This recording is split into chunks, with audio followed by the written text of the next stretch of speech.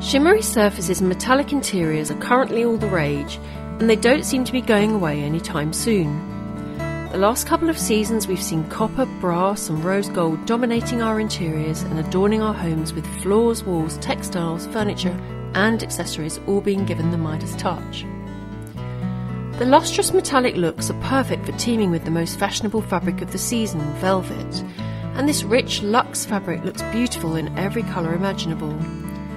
With this glamorous interior style, soft tactile fitted carpet completes the look, and the latest sugar candy pastels are a popular choice. Flooring has gone all out for glamour too, with technology being able to create gorgeous metallic look luxury vinyl tile and engineered woods, which mimic the look of metals and polished stones.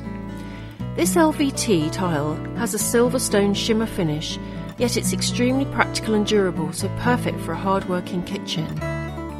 Carpets have also embraced the trend, if you're seeking a touch of glamour, you can brighten your rooms with a super soft and durable carpet complete with a touch of Lurex glitter to add an extra sparkle to your floors.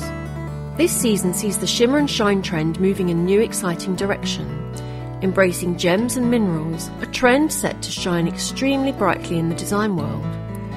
Among the treasures are quartz crystals, amethyst, agate, malachite, and a growing range of rocks and natural treasures, which are colourful, glamorous, and contemporary.